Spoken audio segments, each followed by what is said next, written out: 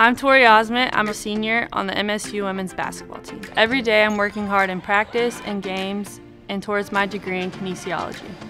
Today is your day to support the hundreds of student athletes that are working hard just like me. Pick your sport, make your gift, it's that easy. Thank you for making our time at Michigan State unforgettable. Give green and go white.